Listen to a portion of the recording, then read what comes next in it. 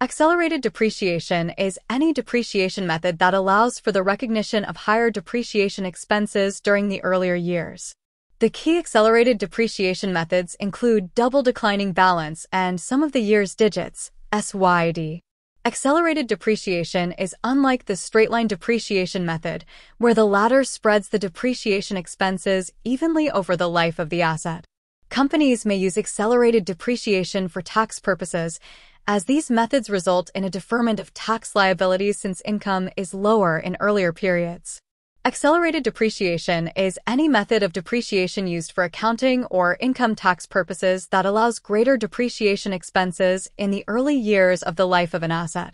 Accelerated depreciation methods, such as double declining balance, DDB, means there will be higher depreciation expenses in the first few years and lower expenses as the asset ages.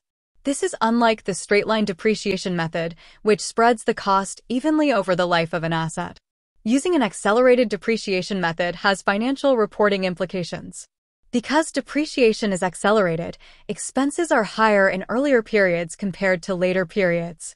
Companies may utilize this strategy for taxation purposes, as an accelerated depreciation method will result in a deferment of tax liabilities since income is lower in earlier periods.